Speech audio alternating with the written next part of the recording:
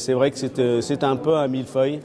Euh, et c'est vrai que pour des étrangers, quand on arrive, c'est pas facile de tout de suite se repérer. Mais il faut savoir aussi que la France le sait, on est conscient, et donc s'organise pour un petit peu nous faciliter la tâche.